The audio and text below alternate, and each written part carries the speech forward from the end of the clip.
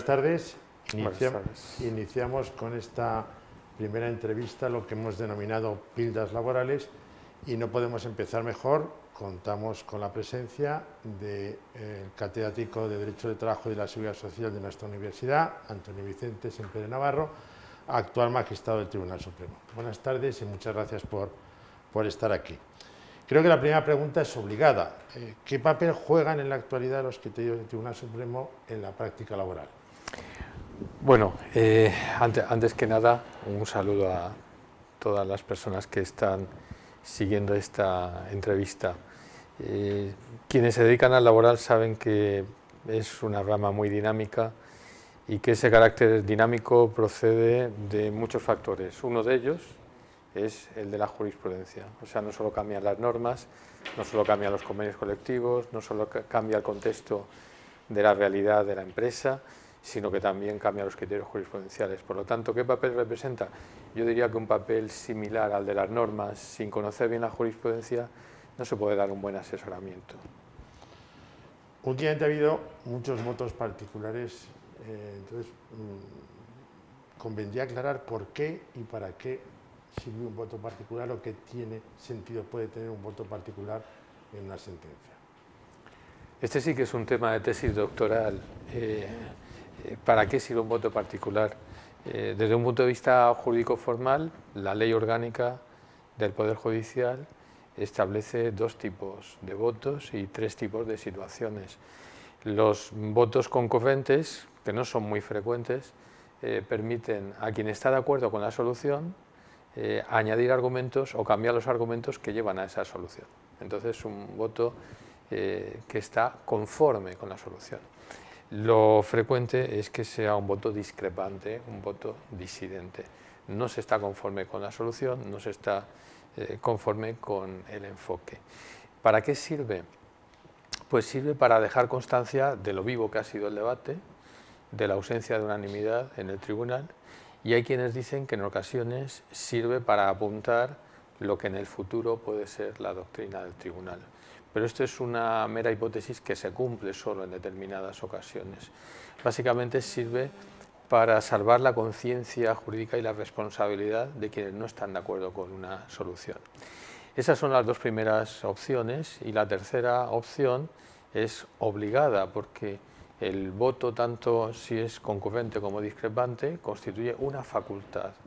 Eh, de hecho, hay muchas eh, ocasiones en las que una persona eh, que está en un órgano colegiado no concuerda con la solución, su tesis es derrotada, pero ello no trasciende al plano exterior. las deliberaciones son secretas y nadie sabe cuál ha sido el resultado, porque no quiere hacer voto particular. sin embargo, hay una tercera hipótesis en la que la ley obliga a hacer el voto particular y es cuando el miembro del órgano colegiado tiene la condición de ponente, eh, propone la solución al resto de personas que componen el tribunal, es derrotada su tesis y no desea asumir eh, la victoriosa, en cuyo caso esta persona viene obligada a que lo que él había propuesto constituya un voto particular. O sea que hay tres opciones de voto particular. Yo recomiendo no hacer demasiado caso eh, a los votos particulares, salvo a efectos académicos y, doctrinales. ¿Cómo se gestiona internamente el reparto de los recursos entre los diferentes miembros de la sala? El Tribunal Supremo eh, cuenta con 13 eh, plazas fijas de magistrados y en los últimos años, junto a esas 13 personas, eh, ha habido un número flotante de quienes se jubilaban, pero permanecían con la condición de méritos. Eso significa que 14, 15, 16, 17, hasta 18 personas son las que concurren a la hora de repartirse los asuntos. Desde hace año y medio el número de personas que componen la sala va reduciéndose porque ya no va a haber más eméritos. Así que contamos con 13, 14 personas. Los asuntos eh, se reparten en principio por un turno riguroso de orden de antigüedad, equilibrando de tal manera que el número de ponencias sea similar. después están las enfermedades, las abstenciones, las recusaciones y hay un sistema de retorno. Pero la mejor forma de entenderlo es que se reparte para que al final del año eh, cada integrante del tribunal haya dictado el mismo número de sentencias, que está en números redondos en torno a unas 10 eh, por mes, sentencias. Eh, hasta el momento, ¿cuál es, en apretado resumen, cuáles serían los asuntos más relevantes a los que has hecho frente como, como magistrado? Bueno, yo quiero aprovechar esta ocasión para mm, trasladar una vivencia y es la de que el, órgano colegiado en el Tribunal Supremo lo es de verdad. El papel del ponente eh, consiste en estudiar, eh, proponer, conducir la deliberación y redactar la sentencia.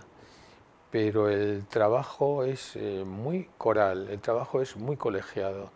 Eh, de tal manera que la identificación de temas con la persona de quien ha sido ponente eh, es inevitable, pero mm, bastante inexacta, bastante inexacta. Eh, por no rehuir la, pregunta, pues es cierto que ese turno ha hecho que aparezca mi, mi nombre asociado a la redacción de sentencias relevantes en materia de maternidad por subrogación, de ultraactividad de convenios, de despidos colectivos, de denuncia del convenio colectivo o de transmisión de empresas en una contrata. Eh, en ocasiones hay asuntos mediáticos que, sin embargo, al tribunal mm, no le han quitado el, sueño en el sentido de que no tienen gran eh, complejidad jurídica y, sin embargo, llaman mucho la, la atención, pues como cuando eh, se dice el Tribunal Supremo ha dictado la primera sentencia que se basa en el contenido de la web de la entidad gestora. Bueno, pues, eh, pues eso es cierto, pero ahí se aplica una doctrina eh, administrativa, ¿no? O en otras ocasiones, pues hay un tema de violencia de género que estadísticamente llega, como debe ser, muy poco a la sala cuarta y sin embargo adquiere una gran relevancia. Así que en el espacio de tres años, estos ocho o diez temas son los que de puertas afuera eh, hacen que se, me pueda identificar en, esas ponencias. Pero yo prefiero resaltar el, trabajo diario, el trabajo cotidiano y colegiado de deliberar, sea quien sea la persona que redacta la sentencia. A raíz de las recientes sentencias del Tribunal de Justicia de la Unión Europea, la pregunta sería qué peso tiene la jurisprudencia de la Unión Europea en las resoluciones o las sentencias del Tribunal Supremo.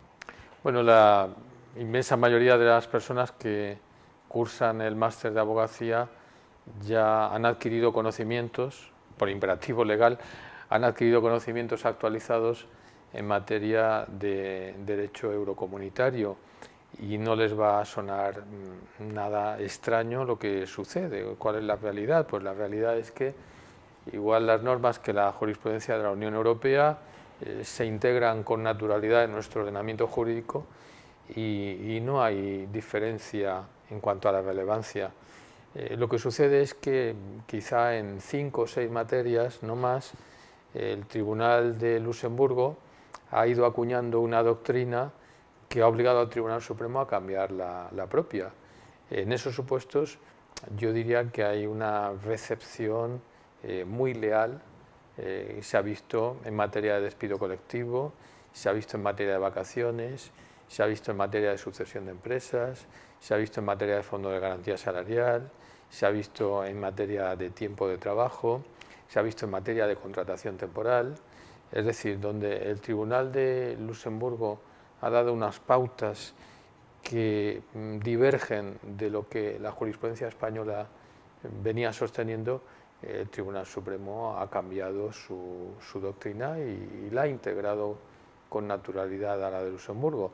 El resumen o la conclusión práctica es eh, bien sencilla. Desde el punto de vista de la abogacía, no hay que estar pendientes solo de la sala cuarta, sino igualmente de lo que va emanando del Tribunal de Luxemburgo.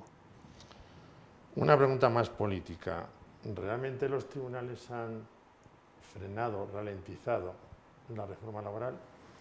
Bueno, la pregunta ha sido muy educada porque el titular periodístico de los tribunales tumban la reforma laboral. Eh, ese es un titular eh, potente.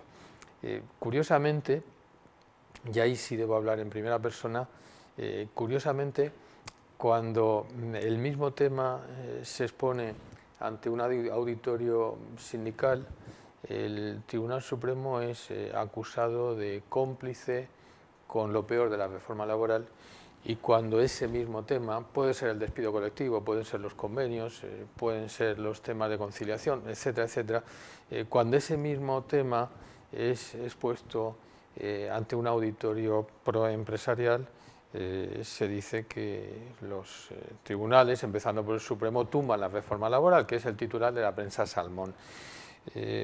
realmente, aunque todo es opinable, yo creo que el problema está en la raíz a la hora de diagnosticar qué es lo que ha sucedido. Eh, y la raíz me refiero a cómo se percibió la famosa reforma laboral de 2012-2014. Eh, desde ópticas liberales, empresariales, se percibió como el de que todo vale, la empresa es todopoderosa, desde ópticas eh, sindicales nos han quitado todos los derechos. sin embargo, las normas, eh, como todas, tienen un contexto, no viven solas, hay que interaccionarlas, hay que interpretarlas. Así que cuando el Tribunal Supremo dice, por ejemplo, que el despido colectivo de Coca-Cola es nulo, eh, lo está haciendo en aplicación de la reforma laboral. No, no, no, no la está tumbando, no la está echando por tierra. Y así sucesivamente. O, por supuesto, mm, cuando eh, dice que la indemnización por despido no es de 45 días, sino de 33, está aplicando la reforma laboral como no puede ser de otro modo. Eh, por lo tanto, yo creo que el tribunal ni es cómplice eh, ni es enemigo de la reforma laboral, sino que es el, el, intérprete, según la Constitución, el intérprete que está en la cúspide del Poder Judicial. Pues muchas gracias. Concluimos aquí esta primera píldora.